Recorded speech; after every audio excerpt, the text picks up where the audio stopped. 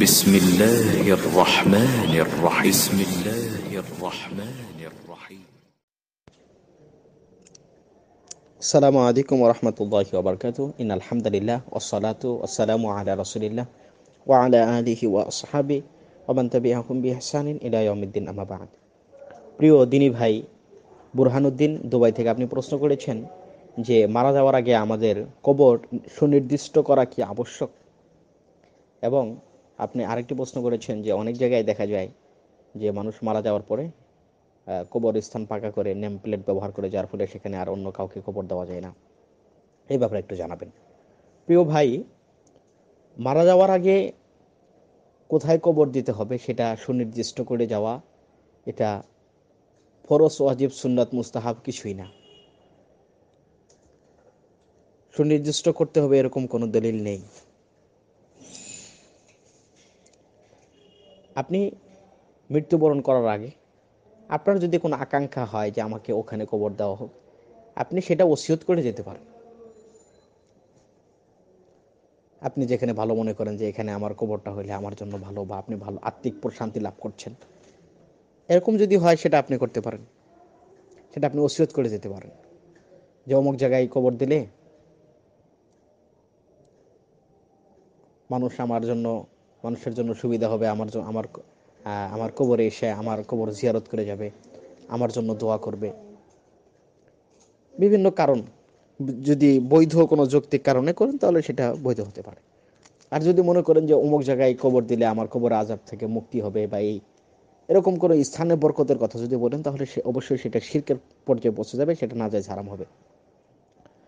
শুধুমাত্র বরকতের কথা পাওয়া যায় হচ্ছে মক্কা এবং মদিনায়। মক্কা এবং মদিনায় যদি কেউ মারা যায়, তাহলে তাদের জন্য আল্লাহ নবী আলী সাল্লাম কেমতের সাফাহাত করবেন। এই জন্য ওমর রদিয়াল তিনি দোয়া করতেন আল্লাহর কাছে আল্লাহ উম্মার সুকনি শাহাদাতাং ফি সাবিলিক ওজা আল মাউতি ফি বেলাদি রাসুলিক। আল্লাহ, আপনি আমাকে আপনার রাস্তায় শহীদ হিসেবে কবুল করে নেন আর আমার মৃত্যুটা যেন আপনার রসুলের ভূমিতে অর্থাৎ মদিনাতে হয়। তিনি মদিনায় মারা গিয়েছেন। আপনি সেরকম এরকম দোয়া করতে পারেন। আর মারা যাওয়ার পরে যারা পরিবারের সদস্য রয়েছে, তাদের জন্য উচিত একটু ভালো জায়গা দেখে কবর নির্বাচন করা। অর্থাৎ মাইয়েতের জন্য অসম্মান না হয়, এদিকে খেয়াল রাখা। এজন্য বেনামাজি, ফাসেক, পাপাচার, দুরাচার, এ সমস্ত ব্যক্তিদের পাশে দাফন না করা, অমুসলিমদের কবরস্থানে দাফন না করা, নিচু স্থান বা জমির মাঝখানে যেখানে গরু, ছাগল দৌড়াদৌড়ি করবে, এরকম স্থানে দাফন না করা। সুনির্দি- সুনির্দিষ্ট এলাকা যেখানে কবরস্থান বা যেখানে কবর দিলে মৃত্যু ব্যক্তির সম্মান ঠিক থাকবে, এরকম স্থানে কবর দেওয়া। কারণ আল্লাহ নবী আলিহি সাল্লাম বলছেন লাতাজলি আল কবরি ওয়ালা তুসল্লি ইলাইহা। কবরের ওপর বসো না এবং কবরের দিকে ফিরে সালাত আদায় করো না।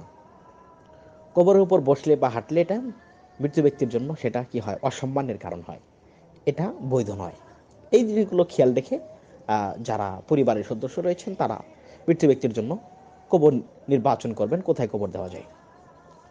আপনার একটি প্রশ্ন ছিল যে অনেকেই কবরের নেম প্লেট ব্যবহার করে। প্রিয় ভাই, আসলে আল্লাহ নবী আলী সাল্লাম মারা যাওয়ার আগে আলী রবি আলতনকে বলেছেন, তুমি কোনো উঁচু কবর পাবে না ইল্লা সওয়াইতাহু। তবে সেটাকে মাটির সাথে মিশিয়ে দিবে। আল্লাহ নবী আলিহি সাল্লামের কবর কেমন ছিল? আমাদের আয়েশাকে বলা হলে তিনি রাসুলের কবরটা খুলে দেখালেন।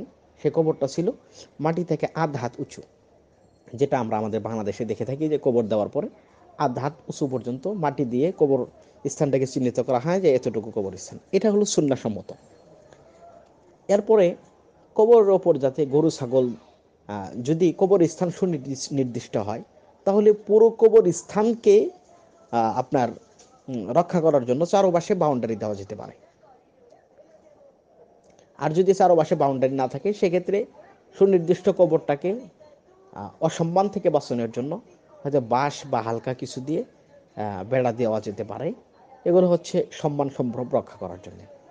কিন্তু সেটা যদি পাকা করা হয়, এটা কার কবর এটা নির্দিষ্ট করা হয়, তাহলে অবশ্যই সেটা নাজায়েজ এবং অবৈধ পর্যায়ের অন্তর্ভুক্ত হবে। আপনারা যারা সৌদি আরবে গিয়েছেন বা আরব বিশ্বে আছেন, তারা দেখবেন যে তাদের যেখানে মাকবারা কবরস্থান, বিশাল কবরস্থান, কোনো কবরে পাকা করা নেই। আপনি, আপনারা জানেন যে আমাদের দেশে মানুষ টাকার জন্য আরব কান্ট্রিগুলোতে যায়। এর মানে তাদের টাকার অভাব নেই। এরপরও কিন্তু তারা কেউ কবর পাকা করে না।